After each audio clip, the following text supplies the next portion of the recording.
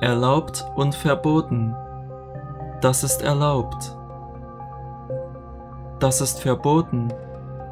他们的名词是 die Erlaubnis, das Verbot. 基本的句子 Das ist erlaubt. Das ist verboten. Das ist nicht erlaubt. Das ist nicht verboten. Gebende Ist das erlaubt? Ist das verboten? Qingjing. Ist es erlaubt, im Restaurant zu rauchen? Die erlaubte Geschwindigkeit ist hier 130 km/h.